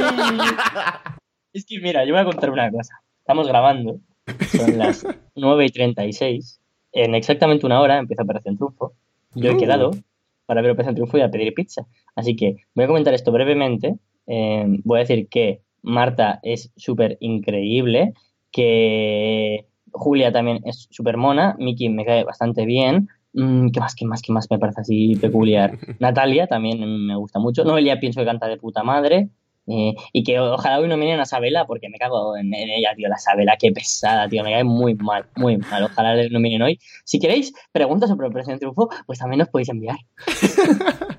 Podemos hacer la segunda edición perfectamente de compara wrestlers con, eh, con Sí, sí. señores de Operación Triunfo. O sea que Pero ponedlo ahí en el tintero, exacto. Eh, da- da- o sea, dadme una hora de programa solo para comentarlo y que sea de, de aquí a, a, yo que sé, a un mes y medio, ¿vale? Que aún falta conocer un poquito más algunas. Pues tenemos ahí, desde luego, dos cositas pendientes. La caja de la moche, que se nos ha olvidado, me acuerdo ahora. Oh, Dios, mira, voy, voy a abrirla en directo, ¿qué coño? ¡Oh! Mira, a ver. Si quieres ir contando algo mientras me silencio para evitar sonido. Pues la verdad es que lo triste de todo este tema es que no he pensado en exceso lo de la caja de la moche. O sea, te podría decir un par de obvios, rollo de. mm, yo qué sé. pff, Hulk Hogan, eh, Ric Flair en cierta forma, yo qué sé, gente de este estilo, pero no he pensado uno de estos que te arriesgas y dices, ¡buah! Este. Así que si tenemos que decir nuestros candidatos Vale. a la caja de la moche, eh, puedo decir un par improvisados, simplemente. Es muy bonito, ¿vale? Porque Hmm. entra al correo. Hay tres correos. Bien. Unos de Google. unos de Javier Martín, que es amigo mío. Y Bien. ya hacemos esto en el grupo de lucha libre de amigos. Y el otro soy yo. vale. No ha tenido gran repercusión lo de la caja de la no, moche, ¿eh? la verdad es que no. Mira, Javier Martín ha dicho: nombre Tiendi Capullo. Tiendi es como me llama. Eh, dice: Esta es su, su porra. Ric Flair, tanto juntarse con Bad Bunny le llevará a la perdición. Espero que no, pero, pero es buena apuesta. Y esta también es buena. Jake the Snake Roberts, recaída en el alcoholismo. Uh. ¿Tú a quién dices, Capu? Uf, em, yo iba a apostar uno muy fuerte por Jim Cornette. Eh, además, Oh. ahora que ha vuelto a, como Espera, comentarista. la, que la mochillo, la mochillo. ¡La mochillo! Vale, muy bien. Espera, espera, espera ahí, espera ahí. Ya se va, muy bien. Dios mío, estaba tan distante que parecía una mosca. Es, es otra, genial. otra. ¿Qué está pasando? ¿Hay una concentración motera o algo? Calles en un barrio, o sea, no, no es el mitad de Castellón, o sea, ya sabes dónde vivo, o sea, qué raro. Sí, sí, sí, sí, es extraño. Bueno, eso, yo diría Jim Cornette, más que nada porque es la mítica situación de voy a volver a la palestra siendo comentarista de, NW de NWA o de lo que sea, ¿sabes? Y de repente, pasca, eh, infarto de miocardio o algo del rollo, o sea, lo, lo veo muy de ese palo. Y preveo una... un- un- esto ya es porque me gusta jugármela más que nada. Preveo como una muerte accidental en el ring, así muy bestia. Quizás en una empresa ultra violenta. Quizás en una CCW que le obliga a cerrar del todo. Quizás a un tal eh, DJ Hyde, por ejemplo, que me cae bastante mal. O sea que son mis dos, mis dos grandes pronósticos. Además, molaría ver el rant de Joey Janela si eso pasase. Yo, mira, voy a hacer una apuesta, es que lo tengo aquí escrito y ya que tengo aquí, se me ocurrieron estos. Una poco, poco arriesgada, ¿no? Que es Harley Race. que Vaya. tiene edad, ¿no? Sí, sí, sí. Pobre hombre. Ser- Sería una pena, pero sí. Sí, hombre, pero ya, toca, ¿no? Este, este luchador WW Classic que muere. No, yo no quiero que muera, ¿no? Pero No, claro, o sea, es, ese, ese, eh, es que esta, esta sección se puede coger muy mal. O sea, no, que, sí. no queremos que muera nadie, ¿vale? nadie, no queremos nadie, que muera nadie. nadie. Nadie, nadie. es broma. Son simplemente apuestas eh, sin, sin daño perjudicial ninguno, sin querer apuntar a nadie. Es, es simplemente por el bien de la comedia. O sea, entendedlo ahí, así, ¿vale? Claro, y luego me tocaba hacer la, la random. Y dije, ¿pongo a Walter? dije, no, pobre. Dios. Pobriño, ¿eh? Que- que- a ver, no, no, espera. Walter de Arras de Lona, no Walter el wrestler. ¡Ah, cojones! Joder. Entonces, me sabía hasta peor, sí, sí. Pero, pero dije, hombre, no, pobrecito, ¿no? Y luego pensé, hago, yo que sé, Adam Rose, que se muere Adam Rose, dices, ¿qué, ¿Qué, qué ha pasado? Yo que sé, le pega ahora fuerte a la meta. Y he di- decidido poner a Ray Gordy. Y dirás, ¿quién es Ray Gordy? ¡Ay, Dios! Sé quién es, sí, sí, sí, sé quién es. Lo, lo- lo triste es que sé quién es. Slam Master G. Slam Master G, qué grande, tío. Mítico SmackDown. Sí, yo creo que puede morir. O sea, es. eh, yo creo- Al año hay como dos noticias, ¿no? Típicas de muere la leyenda. Bueno, hay varias, ¿no? Hay excepciones. ¿no? Por ejemplo, la- muere la leyenda X, Harley Race, ¿vale? A la edad de 79 años debido a un derrame cerebral, que también puede ser muere la leyenda mexicana X, muere la leyenda japonesa Y, ¿vale? Y luego está el muere el luchador de la era Attitude Random del momento, Vals Sí. Mahoney, eh, Booth Bagwell, quien sea, pues Jesse, va a morir Jesse. Apuesta. Estaba entre Jesse y Jesse Neal de Inc. ¡Oh! Cody Dinner. pero, pero dije, va, Jesse normal, no, no quiero volverme tan loco. Pues ahí está lo de la caja de la mocha, al menos por ahora. Si queréis es también actuar en pos de la comedia y todo eso, eh, Carlos tiene el, el mail en, en su Twitter, no recuerdo ahora mismo el mail, si quieres recordarlo ahora, o sea que si queréis sumaros, y esto lo hacemos con una especie de mini sección al final, para ver vuestras predicciones, pues estamos abiertos a hacerlo. Lo he escrito mal al principio, entonces ya no sé cuál es la buena. Sí, es que la acabo de cerrar. amocheinbox.gmail.com o inboxamoche.gmail.com. No me acuerdo. Dice cuál es. Pero pondrá que uno no existe, así que bueno, tampoco hay tanta perdición. Exacto, enviadlo a uno de los dos si queréis sumaros, y si queréis insultarnos por esto, no lo hagáis, ¿vale? Besitos. y sin más, pues no lo he hecho nunca, así que me hace ilusión el decir dentro musiquita.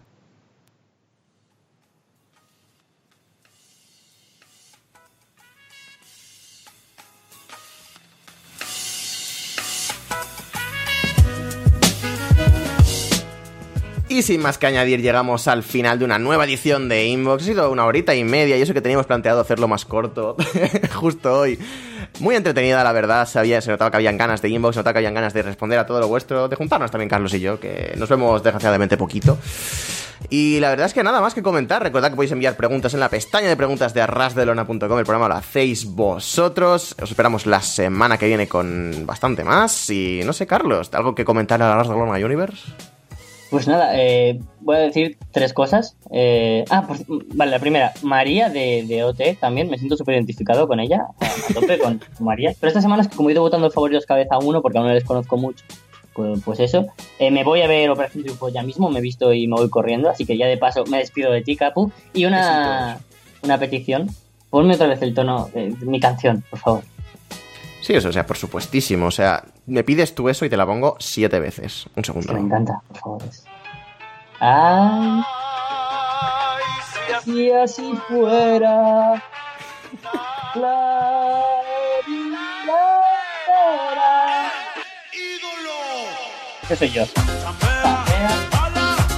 Creo que es perfecto para terminar. O sea que. Nos vemos en la siguiente edición de Inbox. Un besito a todos. Nos vemos la semana que viene con más y mejor.